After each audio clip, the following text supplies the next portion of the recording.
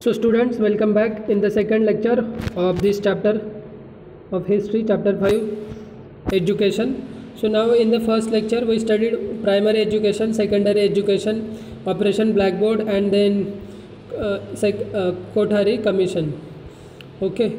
So now and then work of commission and objectives of this Kothari commission.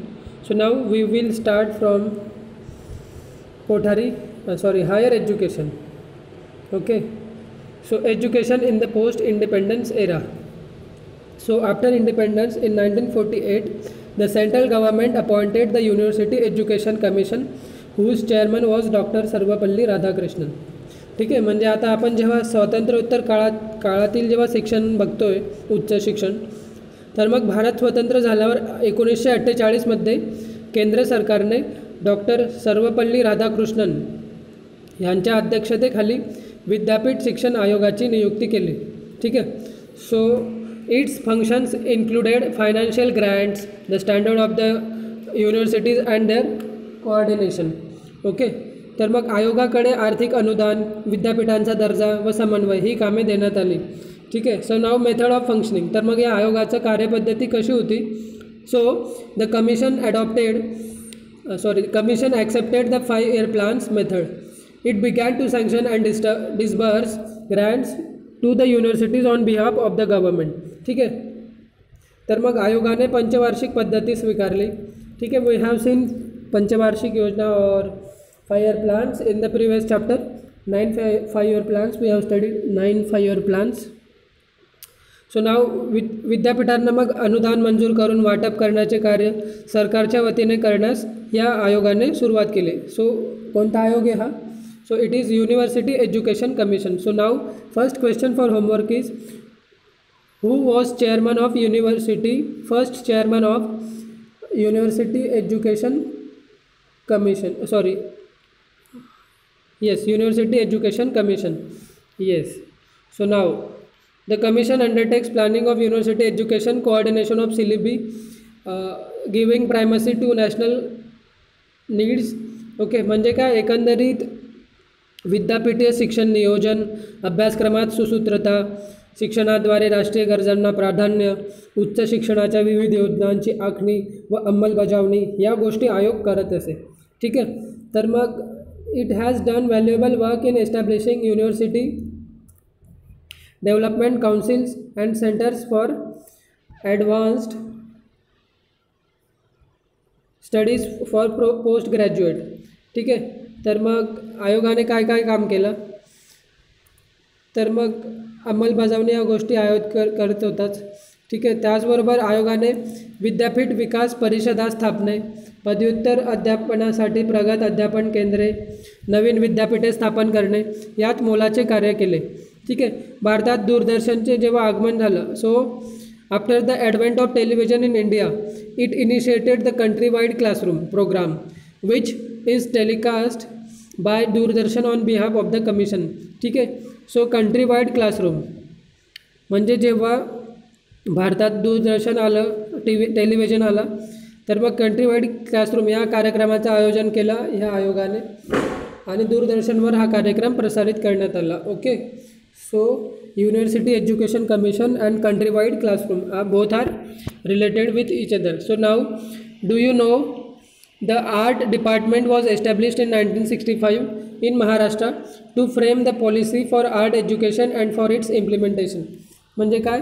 तर एकोणीसशे पासष्टमध्ये महाराष्ट्रात कला शिक्षणाचे धोरण आखण्यासाठी व ते कला संस्थांद्वारे अंमलात आणण्यासाठी कला संचालनालयाची स्थापना करण्यात आली. ठीक आहे? तर मग शालेय पातळीवर घेला घेतल्या जाणाऱ्या ड्रॉइंग ग्रेड ठीक आहे? एलिमेंटरी इंटरमिजिएट या परीक्षांचे आयोजन करण्याची जबाबदारी कोणत्या विभागाने स्वीकारली? तर आर्ट डिपार्टमेंट ओके? कला शिक्षण. In Maharashtra. So national council of educational research and training N C E R T okay? National council of educational research and training. This body was established in Delhi on the first of September nineteen sixty one date is important म्हणजे काय तर एक September एकोणीसशे एकसष्ट रोजी दिल्ली येथे या संस्थेची स्थापना करण्यात आली N C E R T ठीक आहे? So its main objective is to help central government in matters of school education in the context of atmos comprehensive policy and in implementing educational schemes ठीक आहे? मग केंद्र सरकारला शालेय शिक्षणाच्या बाबतीत सर्वंकष धोरणासंदर्भात आणि शैक्षणिक योजनांच्या अंमलबजावणीत मदत करणे हा या संस्थेचा मुख्य उद्देश असेल ठीक आहे? म्हणजे काय तर केंद्र सरकारला शालेय शिक्षणाच्या बाबतीत मदत करणे आणि सर्वंकष धोरण म्हणजे कॉम्प्रिहेन्सिव्ह पॉलिसी आखून देणे. त्याचबरोबर शिक्षणविषयक संशोधन विकास प्रशिक्षण विस्तार शैक्षणिक कार्यक्रम शालेय अभ्यासक्रम व पाठ्यपुस्तकांची पुनर्रचना यांची जबाबदारी एन सी आर टीकडे सोपवण्यात आली. Okay?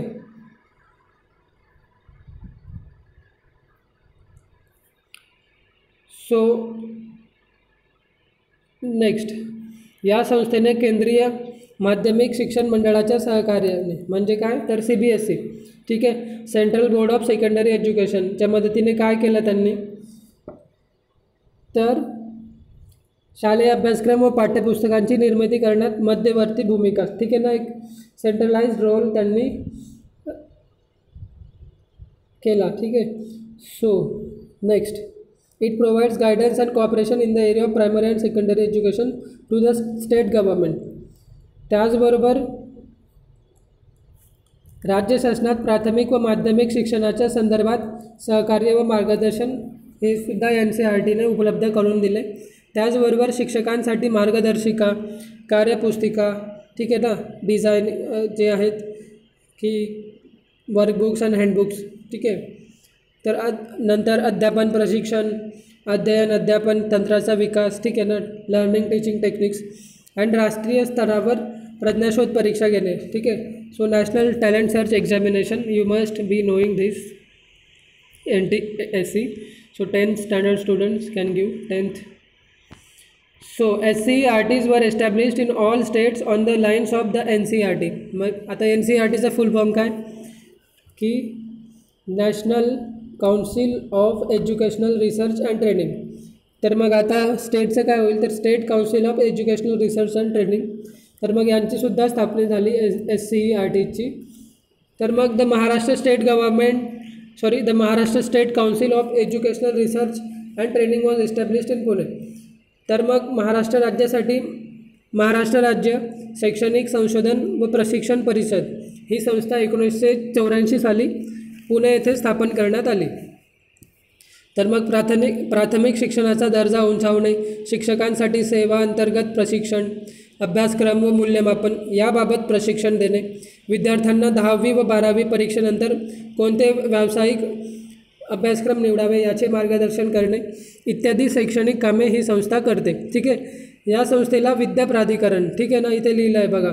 Academic authority the institute this institute is also known as academic authority it brings out a periodical called Jeevan Shikshan म्हणजे जीवन शिक्षण हे मासिक या संस्थेमार्फत प्रकाशित केले जाते. So M S C E R T next do you know the Maharashtra state bureau of textbook production and curriculum research was established in Pune on twenty seventh of January nineteen sixty seven म्हणजे काय तर महाराष्ट्र राज्य पाठ्यपुस्तक निर्मिती व अभ्यासक्रम संशोधन मंडळ बालभारती या संस्थेची स्थापना कधी झाली? तर सत्तावीस जानेवारी एकोणीसशे सदुसष्ट रोजी पुणे येथे झाली. तर मग त्यात Balbharati prepares textbook for school children. ठीक आहे? म्हणजे इयत्ता पहिली ते बारावीपर्यंतच्या शालेय विद्यार्थ्यांसाठी पाठ्यपुस्तक तयार करण्याचे काम बालभारती करते. ठीक आहे? मग त्यात textbooks textbooks are made in eight languages. Namely Marathi Hindi English Urdu Kannada Sindhi Gujarati and Telugu. Okay तर मग मराठी हिंदी इंग्रजी उर्दू कन्नड सिंधी गुजराती आणि तेलुगू या आठ भाषांमधून पाठ्यपुस्तक तयार केले जातात. ठीक आहे? बालभारतीकडून. So Kishor monthly magazine for children is also published by Balbharati म्हणजे किशोर नावाचे हे जे विद्यार्थ्यांसाठीचं मासिक आहे ते बालभारती प्रकाशित करते. So now national policy on education nineteen eighty six म्हणजे आता आपल्याला एकोणीसशे शहाऐंशी शहाऐंशीच्या शैक्षणिक धोरण जे आहे ते अभ्यासाचे राष्ट्रीय शैक्षणिक धोरण. So according to this policy certain changes of a fundamental nature were brought about in primary secondary and higher secondary education in keeping with the changing needs of society म्हणजे काय? तर हे जे नवीन राष्ट्रीय शैक्षणिक धोरण होतं एकोणीसशे शहाऐंशीचं तर याच्यानुसार या धोरणानुसार समाजाच्या ज्या बदलत्या गरजा आहेत त्या लक्षात घेऊन मग प्राथमिक माध्यमिक व उच्च माध्यमिक शिक्षणात मूलभूत स्वरूपाचे बदल घडवण्यात आले. ठीक आहे? According to time place and circumstances according to need and requirements it this was done so under this policy sorry हां under this policy a common core curriculum was framed for all states मग या धोरणात काय झालं की सर्व राज्यांकरिता किमान एक राष्ट्रीय अभ्यासक्रम सूचित करण्यात आला. ठीक आहे? सर्व द राज्यांसाठी एक बेसिक कोअर कोअर करिक्युलम म्हणजे सगळ्यांना एक प्रकारे समान शैक्षणिक संधी उपलब्ध होईल. ठीक आहे? So that the expectation is that by this means all students in India will get equal educational opportunity okay there is scope in the national curriculum for individual states to bring in flexibility in accordance with their cultural geographical and historical needs म्हणजे काय? तर जेणेकरून भारतातील सर्व विद्यार्थ्यांना एक काही लेवलपर्यंत समान शैक्षणिक संधी उप संधी उपलब्ध होईल आणि मग प्रत्येक राज्याची जी संस्कृती आहे सांस्कृतिक भौगोलिक आणि ऐतिहासिक गरजांनुसार मग राष्ट्रीय अभ्यासक्रमात लवचिकता आणण्यास वाव दिलेला आहे. ठीक आहे. तर मग next is the primary education curriculum nineteen eighty eight was prepared on the basis of the plan of action devised म्हणजे काय?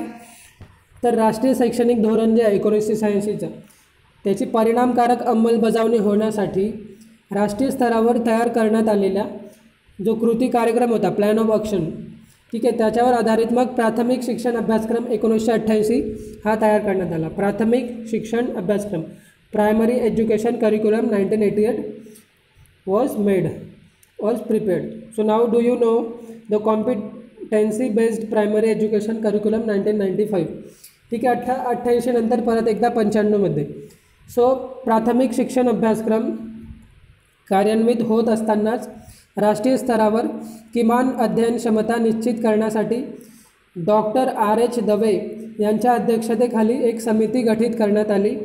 तर मग दवी स दवे समितीने भाषा गणित व परिसर अभ्यास या विषयांसाठी इयत्ता पाचवीपर्यंतच्या किमान अध्ययन क्षमतांचे तक्ते विकसित केले. ठीक आहे? म्हणजे पाचवीपर्यंत किती यांना द्यायचं?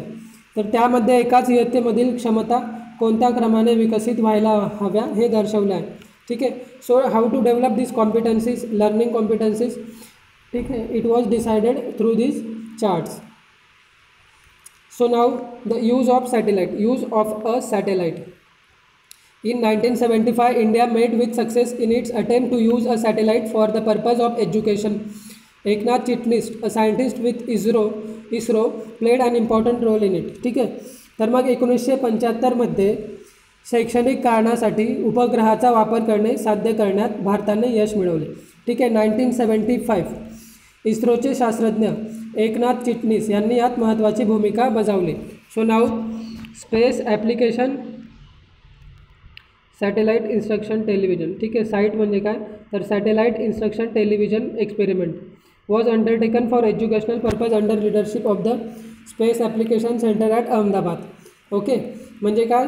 तर स्पेस ॲप्लिकेशन सेंटर जे आहे अहमदाबादचं तर तेथील अंतरिक्ष उपयोग केंद्राच्या नेतृत्वाखाली साईट हा शैक्षणिक कारणासाठी उपयोग करण्यात आला. ठीक आहे ना? साईट म्हणजे satellite instruction instructional television experiment. Okay so now next उपग्रहाद्वारे शिक्षण प्रणाली ही कल्पना येथे विकसित झाली. म्हणजे काय? The concept of satellite education came out of this experiment America had help India in this programme the programme helped to make provisions for good standard of education in rural area ठीक आहे म्हणजे काय? एकंदरीत उपग्रहाद्वारे शिक्षण प्रणाली ही कल्पना इथूनच पुढे आली. ठीक आहे? सो या उपक्रमात अमेरिकेने भारताला मदत केली होती. यातूनच ग्रामीण भागात दर्जेदार शिक्षणाची सोय करणे शक्य झाले. ठीक आहे? So now next is Indira Gandhi National Open University, that is IGNOU. Okay so this open university was established तर देशातील सर्वसामान्यांच्या घरात ज्ञानगंगा नेण्यासाठी या मुक्त विद्यापीठाची स्थापना करण्यात आली. ठीक आहे. संयुक्त राष्ट्रसंघाने एकोणीसशे सत्तर हे वर्ष जागतिक शैक्षणिक वर्ष घोषित केले होते. ठीक आहे. मग याच वर्षी भारतात भारत सरकारचे शिक्षण व समाज कल्याण खाते माहिती व प्रसारण खाते विद्यापीठ आणि अनुदान आयोग व युनेस्को यांच्या संयुक्त विद्यमाने मुक्त विद्यापीठ या विषयावर नवी दिल्ली येथे चर्चासत्र घेण्यात आले. ठीक आहे तर मग या चत्र चर्चा सत्रातून मुक्त विद्यापीठ स्थापन करण्याची कल्पना पुढे आली. So in nineteen seventy four म्हणजे एकोणीसशे चौऱ्याहत्तरमध्ये मग सरकारने पी पार्थसारथी ठीक आहे. यांच्या अध्यक्षतेखाली एक समिती नेमली. त्यांच्या सूचनांनुसार व शिफारसींनुसार वीस सप्टेंबर एकोणीसशे पंच्याऐंशी रोजी मुक्त विद्यापीठ आकारास आले. प्रधानमंत्री इंदिरा गांधी यांचे नाव विद्यापीठाला देण्यात आले. ठीक आहे. So find out the Yashwantrao Chavan Maharashtra मुक्त विद्यापीठ. म्हणजे महाराष्ट्रामध्ये एक मुक्त विद्यापीठ आहे. यशवंतराव चव्हाण महाराष्ट्र मुक्त विद्यापीठ नाशिक येथे एकोणीसशे एकोणनव्वद साली याची स्थापना करण्यात आली. या मुक्त विद्यापीठात बाबत आंतरजालाच्या म्हणजे इंटरनेटच्या मदतीने माहिती घ्या ठीक आहे? So you have to take information so this is not a homework next those who are enable to get a college education म्हणजे काय? जे विद्यार्थी आहे ज्यांना महाविद्यालयीन शिक्षण घेता आले नाही मग त्यांना मुक्त विद्यापीठात औपचारिक म्हणजे एक प्रकारे formal it in a formal way ठीक आहे? तर मग त्यांना प्रवेशासाठी पात्रता वय व अन्य अटींमध्ये सूट देण्यात आली. विद्यापीठाने एकोणीसशे नव्वदमध्ये आकाशवाणी व दूर दूरदर्शनच्या माध्यमातून दृकश्राव्य ठीक आहे ना? म्हणजे काय? तर audio visual distance education programme सुरू करण्यात आला. Through Akashvani and Doordarshan. It conducted more than one thousand curricula of various branches okay तर मग एक हजारापेक्षा वेगवेगळ्या पद्धतीने त्यांना एक दूरस्थ शिक्षण देण्यात आले. ठीक आहे एक हजाराहून अधिक अभ्यासक्रम राबवले गेले आणि मग त्याचबरोबर देशात अठ्ठावन्न परीक्षण प्रशिक्षण केंद्रे आणि परदेशात एक्केचाळीस केंद्रे स्थापन करून विद्यापीठाने शिक्षणाची सोय केली. So now we you have homework so first is